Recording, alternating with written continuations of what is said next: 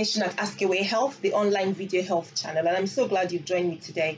I've got an interesting topic to look at with you today, and it's about airport x ray scanners and are they safe or do they pose any risk to us when we travel? Now, as we, everybody knows, um, the risk of terrorist activities has increased worldwide, and so security has tightened across airports, whether you're traveling internationally or locally. One of the things that you would expect as a traveler is to pass through a body scanner or have one of those handheld devices waved across your body, um, because we know we're trying to detect things that could put us at risk or cause harm, including firearms or knives or explosives or, or drugs or whatever it is that people um, are not supposed to carry that could cause harm to others um, as, as, as we travel.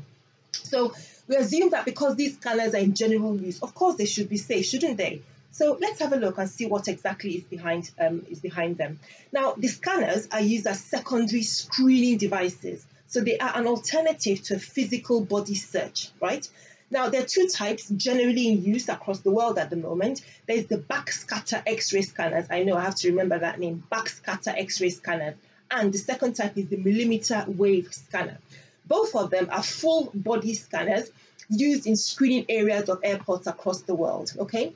The next thing to remember is that the scanners send low, low level x-rays towards the body.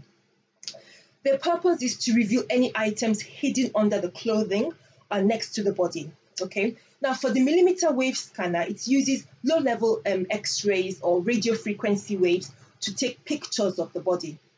So, no radiation dose is actually given into the body. The energy produced by the scanners is not enough to damage the cells or the DNA. Okay, so that's really important to note. The second type, the backscatter X ray machine, is similar to the hospital X ray machines but it delivers a much lower dose of radiation. And the other thing that's special about the backscatter X-rays is that while the hospital X-rays pass through the body to create the X-ray image, the backscatter um, machines only scatter or bounce off the body. The rays from the machine only scatter or bounce off the body to create a 2D image of the outside of the body. So the fundamental questions that we ask are things like, will these scanners, can they increase the risk of developing cancer? And that's no, because like we've said, they do not go into the body, they cannot um, um, cause abnormality or change to the cell types or DNA. Um, they cannot affect pregnant women or their babies. So in that sense, technically, they are safe.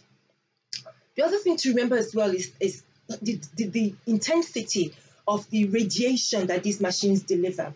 Research suggests that 100 of the backscatter X-rays will deliver the same dose as one one dental X-ray. Okay, Another thing to think about is actually on a daily basis, we're exposed to the sunlight and other naturally occurring radioactive materials, and that's just as we go about our day to day activities. Now, think about it as well. Air flights, air travel, being on board and in, in, in transit in the air, also deliver more radiation to people than when on the ground. estimates that we know suggest that for somebody flying in a commercial flight, you actually receive an equivalent dose, right? An equivalent radiation dose, the same as 30, as what you get from 30 backscatter x-rays for every one hour in the air. Let me just say that again. So if you're on board, you're flying from A to B, while you're in the air, within one hour, you get the same exposure to radiation as what you would if you went through 30 backscatter X-ray scanning machines, okay? So that means basically you can safely pass through the scanners without worrying about cancer or worrying about um, if you were pregnant, for example, this, the, the, the radiation affecting you or the baby. With that said, please don't forget, remember I said it's an alternative to physical body search.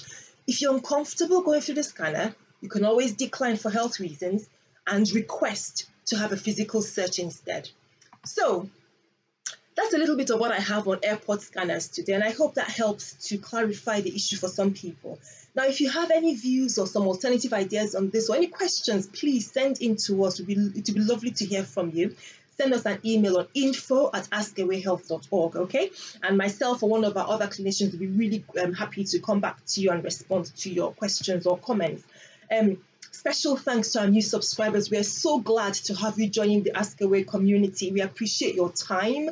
Um, and if there are any questions or any topics you'd like us to cover on the channel, please send us um, some information. Write it out in the comments, and we'll, we'll get back. We'll get back to you on those.